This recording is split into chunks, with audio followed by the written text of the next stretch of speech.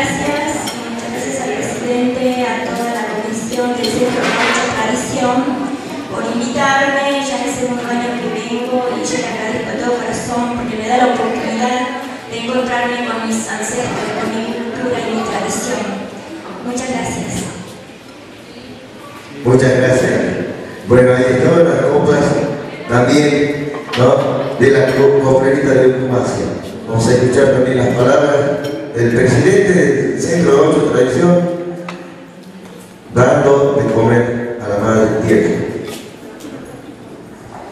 Muchas gracias amigos, amigos presentes, muchísimas gracias por acompañarnos en esta circunstancia tan especial de la vida, que podamos una vez más rendir respeto y homenaje a la Pachamama, Pachamama Madre Tierra, Cusilla, Cusilla.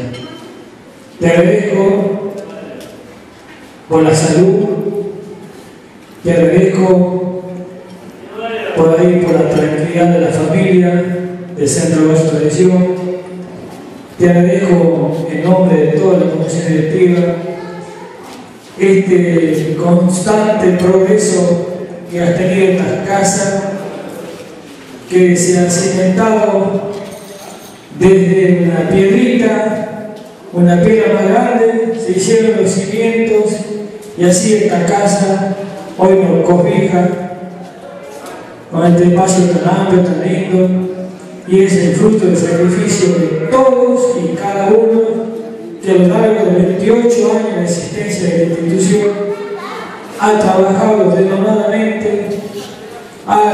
obsequiado su tiempo, su sacrificio personal, a veces descuidando un poco la familia, un poco el trabajo. Por eso, Pachamama, te pido, con todo respeto, dale fuerza a esta gente que hoy me acompaña en mi gestión de presidente. Dale salud, alegría y también a los amigos que me acompañan en esta ceremonia, que no son de esta casa, pero son muy amigos, puestos acá, creen en nosotros, creen en esta tradición, creen en la Pachamama, Pachamama Madre Tierra, Lucía, Lucía.